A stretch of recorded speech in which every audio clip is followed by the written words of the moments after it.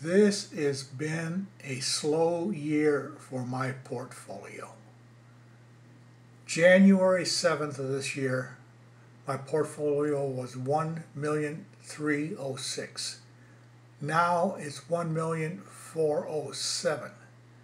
It took from January to today to do a $100,000 increase.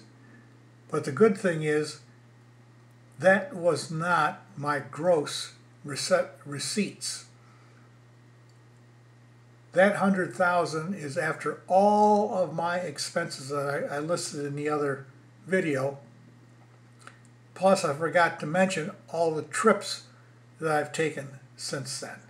But it's been a rough year.